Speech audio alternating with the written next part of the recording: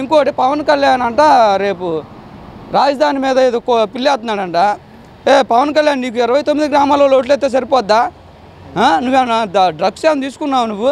ఇరవై తొమ్మిది గ్రామాలకి మీదే వేస్తామేంటిది పవన్ కళ్యాణ్? మరి మిగతా పదమూడు పన్నెండు జిల్లాలు ఏమైపోతారు అసలు?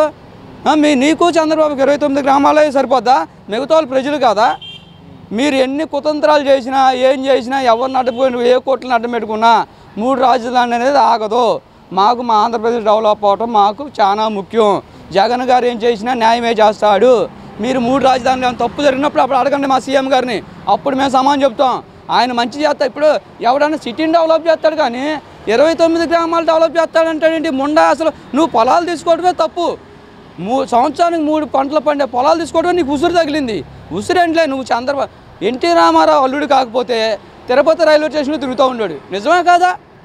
నువ్వు ఎన్టీ రామారావు అల్లుడు అవ్వటం వల్ల నువ్వు కొంచెం రెండు ఎకరాలు అడివి ఇప్పుడు లక్ష కోట్లను ఆస్తి అన్నావు కదా అంత ఆస్తి వచ్చింది. అదే ఎన్టీ రామారావు అల్లుడు కాకపోతే తిరుపతి రైల్వే స్టేషన్లో నాదెల్ల భాస్కర్ గారు ఎవరు మాజీ సీఎం ఉన్నాడుగా ఆయన చెప్పినట్టు తిరుపతి రైల్వే స్టేషన్ తిరిగోడు నువ్వు. ఇది నిజమే కాదా? నిజమే కాదా? మా మంచి ముఖ్యమంత్రిని పట్టుకొని అసలు దేవతల్లాగా పరిపాలన ఇస్తే మంచి పరిపాలన ఇస్తున్నాడు ఆయన. ఆయన ఇచ్చే పరిపాలన నువ్వు తట్టుకోలేక నీకు పిచ్చి పట్టి నీ కొమ్ము కాసే వాళ్ళు నీకు కాయటమే తప్ప నేను ఇంకోటి చెప్తున్నాను ఛానల్ ముఖంగా. చంద్రబాబు నాయుడికి భవిష్యత్తు లేదు. రాజకీయంగా ఎప్పుడో పదమూడు జిల్లాల వాళ్ళు చంపేశారు చంద్రబాబు నాయుడిని.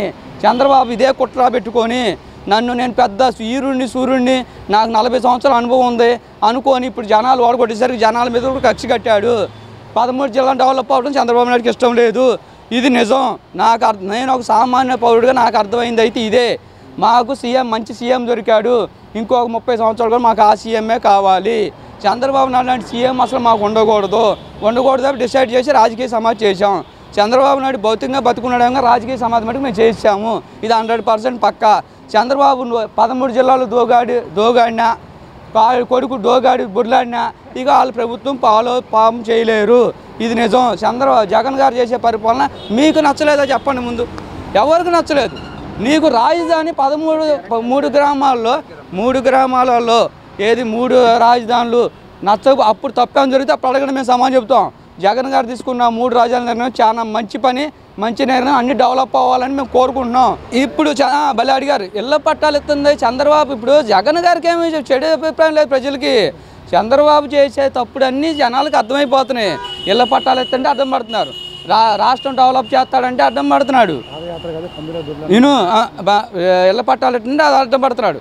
రాజధాని డెవలప్ చేస్తా అంటే అడ్డం పడుతున్నాడు ఎందుకు? చంద్రబాబు చేతకాక జగన్ చేసే మంచి పనులు తట్టుకోలేక జగన్కి ఎక్కడ మంచి పేరు వస్తుందని అర్థమయ్యి చంద్రబాబు నాయుడు కోవట్లుండి కోర్టులో ఆపుతున్నారు. కానీ ఇది ప్రజాశాస్త్రంలో ఎక్కడ ఏది ఆగదు. తాత్కాలికంగా ఆపుకొని బాబు కొడుకులు ఉపశమనం పొందడం తప్ప ఏది ఎక్కడ ఆగదు. ప్రజలకు వచ్చిందే కోర్టులు కూడా చేయాలి. కోర్టులను కూడా చూసి జనాలు నవ్వుకుంటున్నారు. దయచేసి కోర్టుల మీద ఒక నమ్మకం ఉంది అది పోగొట్టుకోవద్దు. నేను ఒక భారత పౌరుడిగా నేను అడిగే హక్కు ఉంది కాబట్టి నేను అడుగుతున్నా. ఇది నిజమే కోట్లు అంటే మంచి వాల్యుబుల్ అవి వాల్యుబుల్ ప్రదేశాలు. అవి అలాగే కాపాడండి వాటిని వాటిని నాశనం చేయొద్దు. దయచేసి చంద్రబాబు నాయుడు మాటలని జడ్జీలకి లాయర్లకు ఉన్న గౌరవం పోగొట్టుకోవద్దు.